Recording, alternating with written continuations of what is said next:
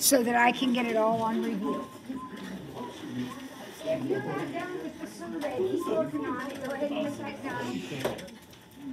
All quizzes should be turned in at this moment. We're starting with number twenty-four. Which is a good one to start with, because we actually did a problem just like this yesterday on the mini review. Okay, so, what do we do to solve, our job is to solve this equation, what do we do? on both sides. Natural log on both sides. Now, clearly, this is a calculator problem, so it's gonna be on the free response part. So when I look at your work, I'm gonna wanna see that step. And then that's gone, and we have this. And then what do we do? Our job is to solve for x, so what do we do? What? Subtract the one. And then divide by three. And we talked about this yesterday, how to type this in. So let's everybody type it in, making sure that you're taking the whole numerator divided by three. If you don't get four point four three four two, try again. Make sure you're closing your parentheses around your ten. With you minus one, you're gonna hit equals and divide it by three. Okay, everybody got it? All right. I'm gonna write this formula up here on the board. You're gonna have both formulas. You're gonna have to pick which one. How do I know this is the right formula for problem twenty-five? It's compounded monthly, which means n is twelve. So here we go. Oh, wait, I turned the page. I put my numbers in. So, uh, I'm gonna invest twelve hundred dollars at point oh three one. Remember, it has to be a decimal, divided by twelve for ten years. This is one of the easy ones, because I don't need to do anything tricky, I just need to type it in, right? So I'll make this one twenty to get myself started, and then I'll just type it in.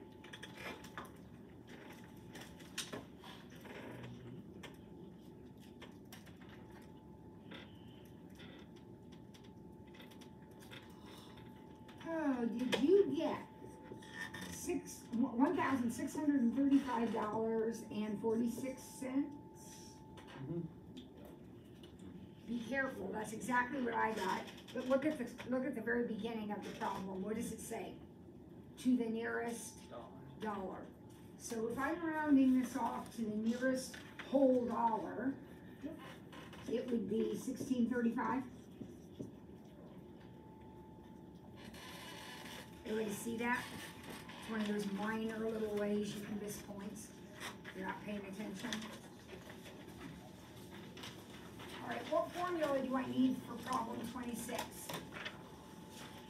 I need my part. So let's see what we got here. We've got, starting with hundred and fifty-four, ending with nine twelve, in three and a half hours. Now, you guys, three and a half is not a percent, so don't be changing that. You only change percents. So three and a half is three and a half. All right, I need to solve it. What am I gonna do? Ln or divide by a hundred and First, I have to divide. Look up here, guys, look. If you jump in an ln right off the bat, guess what? Nothing cancels, because what's the rule? I can only cancel if ln and e are touching. If you do that, you're gonna have a big mess.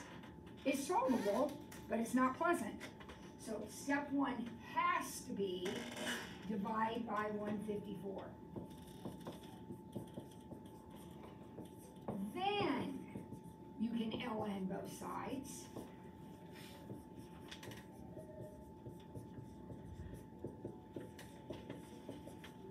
Finally divide by the three point five. So what do we get for our growth constant here?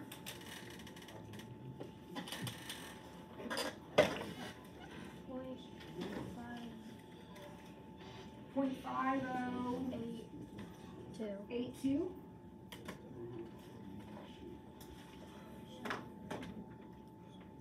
Now, you may think at first that that's a small number, but that's actually a huge number. Because that is like an interest rate, so what does that represent? Fifty percent growth. Yeah, this thing is really growing fast. But this is the answer, this is fine, right here. That's the answer to the question. Okay, number twenty-seven, we are not missing. Because that would be embarrassing. Because all the little freshmen down the hall are doing this problem on their exam. The freshman, it's algebra one. Write the equation of a line. Alright, so how do we write the equation of a line? What do we do first? We find the slope. We find the slope. So that's y minus y over x minus x. Eight minus six, four minus five. So it looks like my slope is negative two. Then what do I do? Then I pick a point. I guess that one doesn't really matter. So y minus six equals negative two, x minus five. Do my distributive property and solve for y. There it is. There's the equation of your line.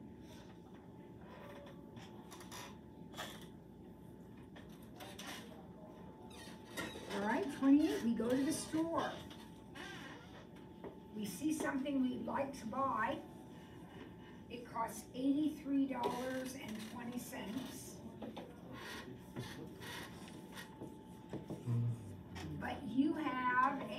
20% off coupon.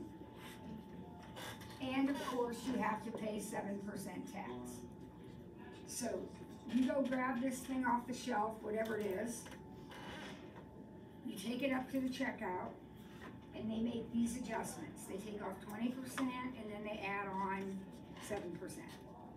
Okay, we're gonna do this as a multiplication problem. So what do I multiply by? To reflect a twenty percent lessening discount? Point eight oh, point eight, or point eight oh, it's eighty percent. What do I multiply to reflect an extra seven being added on? One point oh seven. One point oh seven. One point oh seven. One point oh seven. So eighty-three point two times 0.8 times one point oh seven. It looks like I'm gonna pay seventy-one dollars and twenty-two cents for this thing.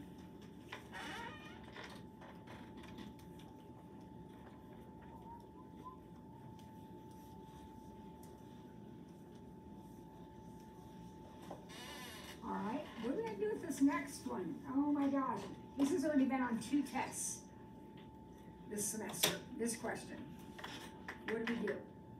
Hmm. Amount times percent. Plus amount times percent equals amount times percent.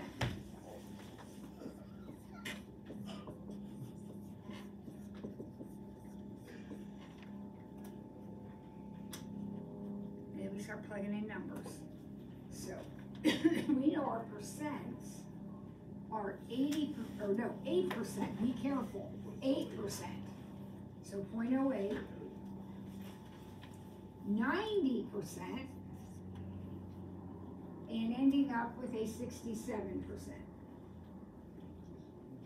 Or sixty-five. I'm having trouble, sixty-five. Now, how many gallons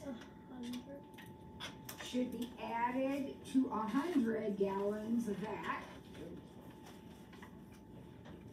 what goes here? X plus a hundred. X plus a hundred or a hundred plus X, either way, doesn't matter, doesn't matter. So now we solve.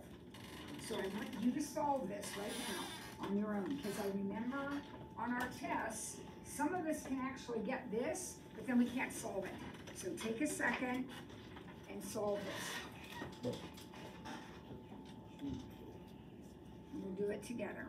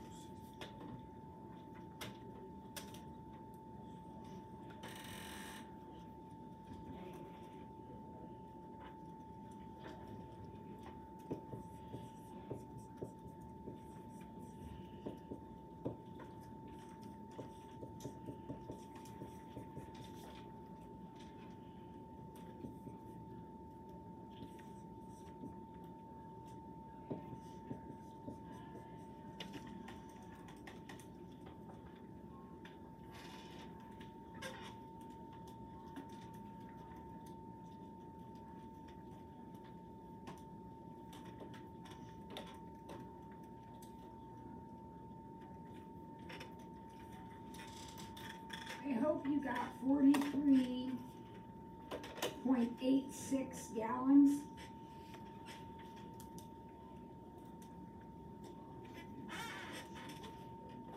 That's what you need to get. So if you're struggling with solving it, you spend some time with it.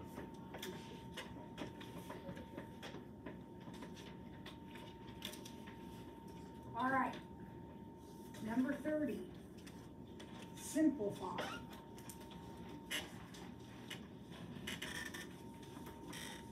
Okay, so here we go. We've done, this has been on two tests also. One very recently. So what do we do, oops, what do we do first? Simplify it. I always simplify the inside. You don't have to do that, but I always do. I always simplify the inside first. So four and three, nothing going on there. How about my X's though? What's gonna happen with them? X squared at the top. Nope. They're gonna flip and X squared Three's gonna These go up. guys are going to the top. How many are up there already? Five. Five. Three more are coming up. So what do I have up there? X eight. X to the eight. I have eight X's on the top of that fraction. Now the Y's are doing the same thing, except they're coming down. Right of nine. So that's gonna be Y to the ninth on the bottom. And actually, the Z's are doing the same thing. These are going to the top, so that will be Z to the Eight. on the top, okay? Now, square everything. So gonna be sixteen and nine. Don't square the exponents though. When we have a double exponent, what do we do? Times. times them. So that's x to the sixteenth, z to the sixteenth, and y to the eighteenth. And again, there is nothing stopping you from going home, rewriting that problem on another sheet of paper and working through it again to practice. All right, and then thirty-one, our box problem. We did some of these yesterday. Here we go.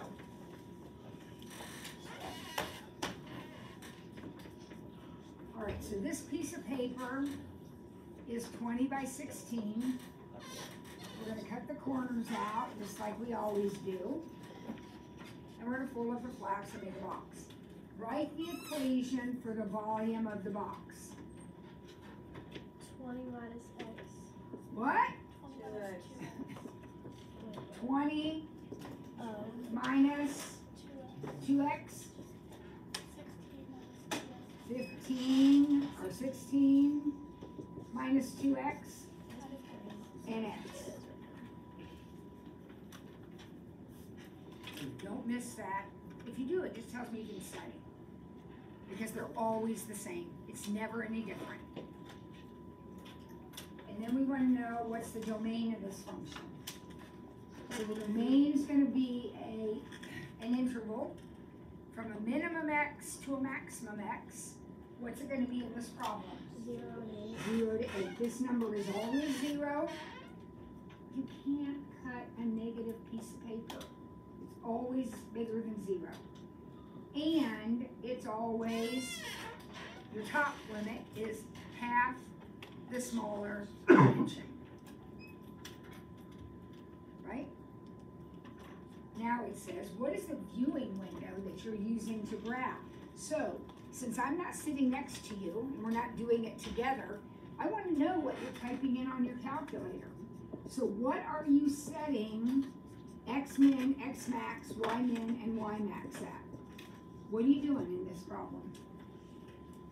Three of those are automatic. X min is zero, X max is, in this problem, eight. Always zero for the minimum, eight for this problem. Y minimum, always Zero. And then this one, we're working with pencil, we might have to erase it, but we're gonna start with what? Five hundred. We'll see if it's high enough or not. So I'm gonna go to y equals, make sure you're typing in your new equation. It sounds so dumb, kids, but this happens all the time. Kids will say, I'm not getting the right answer, and it's because they didn't change the equation. You have to put in your new equation, and you have to put in your new window.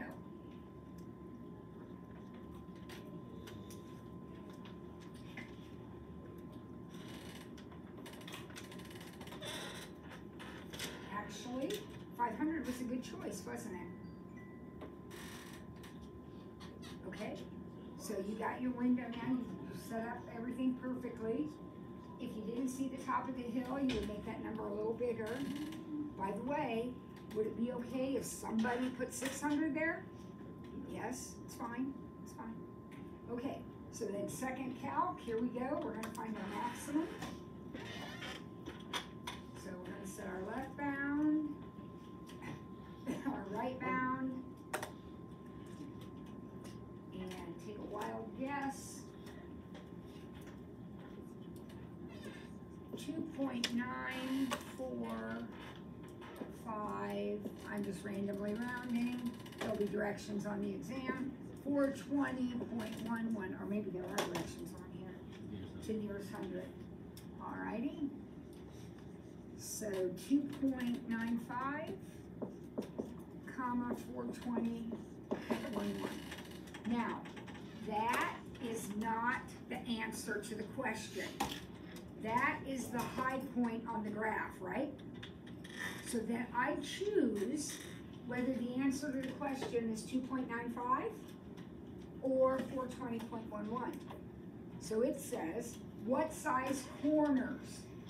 The corners are X. So the answer to the question is two point nine five inches. Two point nine five inches are the corners. Okay? All right. So now I've videoed everything.